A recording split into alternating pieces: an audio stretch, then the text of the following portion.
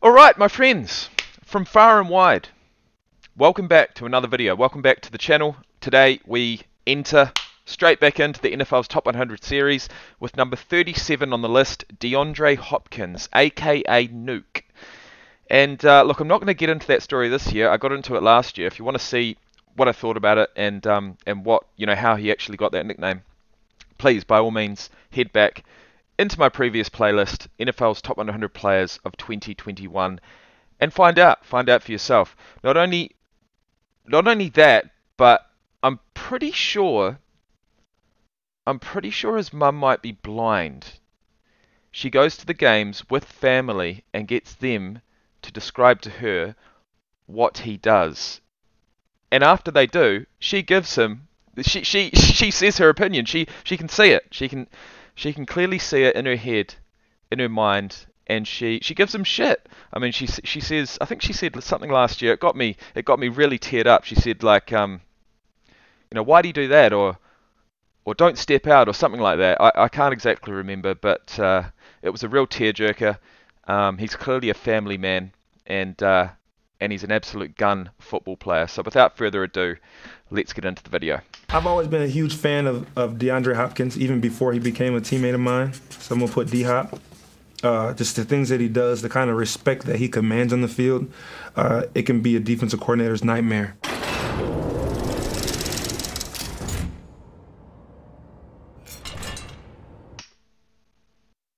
It's a drop of 29, but he's still a defensive coordinator's nightmare. So cheers for that. Cheers for that, Chandler.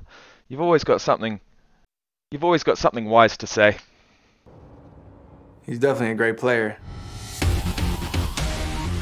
Real talented, great hands. Where's he at? He's at the. So he's at. So he's played one season at the Cardinals. Prior to that, it was the uh, Texans. Ugh! Talk about dead legs. That's a dead leg and a half. And that's a penalty. Throw the flag, ref. Get off me. He gets Oh, and he still takes the catch. Unbelievable. I assume that would have been a defensive penalty and they would have declined it. Even if it's a 50-50 ball, a lot of times he comes down with it. It is caught for a touchdown by D-Hop. That dead leg was something else. D-Hop caught it. Despite playing in only 10 games, DeAndre Hopkins scored eight touchdowns. And it's caught in the back of the end zone by Hopkins, and he got his feet down for the touchdown. 10 games. Why is that? Let's find out, and at the same time, let's have a look at his stats. Nick Minute. To all our readers in New Zealand, please don't scroll past this. This Wednesday, for the first time recently, we humble, we humbly ask you to defend Wikipedia's independence. 98% of our readers don't give. They simply look the other way.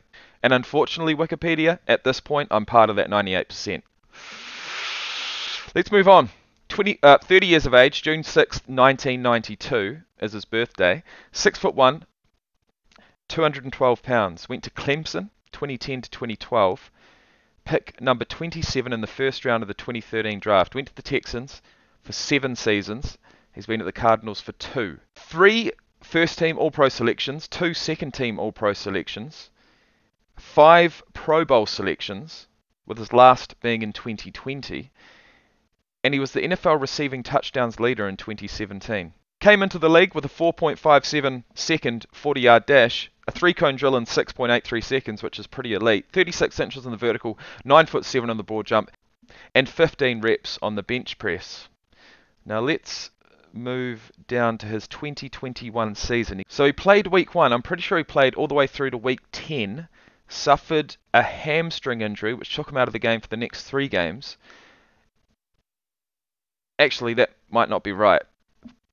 But regardless, in week 14, he suffered a second injury, a torn MCL, and was placed on injured reserve on December 18th. He finished the season with 42 catches for 572 yards and 8 touchdowns through 10 games.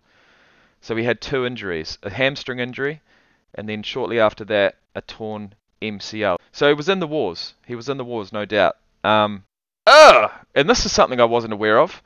On May 2nd, 2022, the NFL announced that Hopkins would be suspended for the first six games of the season for a violation of the league's performance enhancing drugs policy. Well, well, well, as a bodybuilding fan, I know all about that, and I'd love to know more. Let's have a look at the news story. I'll get that up. But first and foremost, 136 career regular season games, 10,581 yards. So he actually he actually already had 10,000 receiving yards prior to last season, but he added 572 for good measure. Um, 68 receiving touchdowns, only four rushing attempts in his entire career. That seems. That seems. I don't know. He's clearly an out and out receiver. Uh, longest rushing attempt of 12 yards. His longest catch being 76 yards for a touchdown in 2014. His longest catch last year in 2021 being a 55 yard reception. 10 fumbles, 7 lost. Not that that really matters. In the postseason, I tell you what, Houston were absolutely balling. Six games through four years, five years, sorry, five seasons, six games. Uh, 37 receptions for 446 yards and one touchdown. Well, let's hope he can add to that this year. Alright, so you know what? I am going to run through this story just quickly. He was raised by a single mother, Sabrina Greenlee, with whom he had a strong relationship. He credits her for his success. She had two jobs throughout his childhood and worked at an automotive factory. In July 2002, she had a boiling she had a boiling concoction of lye and bleach thrown on her by Savannah Grant, aged 24. Greenlee had caught her boyfriend at the time having an affair with Grant.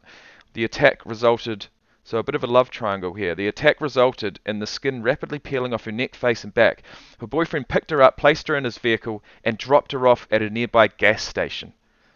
The gas station attendant called 911 and she was rushed to hospital where she was placed in a medically induced coma for three weeks and had skin grafts applied to her face. She suffered burns over 17% of her body. Her attacker was, ch- which was charged with assault and battery with intent to kill and received a 20 year sentence. She has been incarcerated since 2003. Hopkins' mother, Sabrina Greenlee, was left completely blind as a result of this attack, and that goes back to what I said earlier. Alright, guys, let's get back into the video. That is beyond belief, mate. Touchdown! What a catch! How he got his feet down? Hopkins' numbers may have been down, but his highlight reel plays and respect from peers are still elite. Hop's a great player, physical player. I mean, he's a guy that's initiating the contact. I mean, not many receivers I feel do that. Hmm, interesting point. Wow, DeAndre Hopkins broke what? tackle. It looked like he was dead to rights.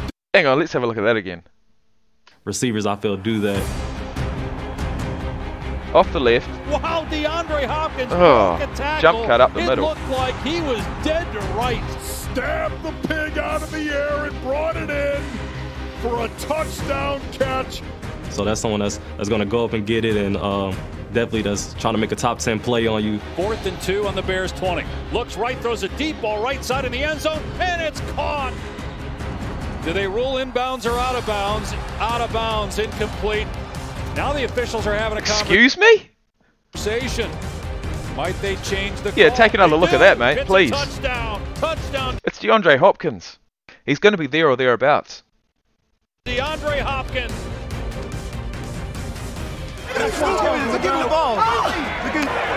I definitely think.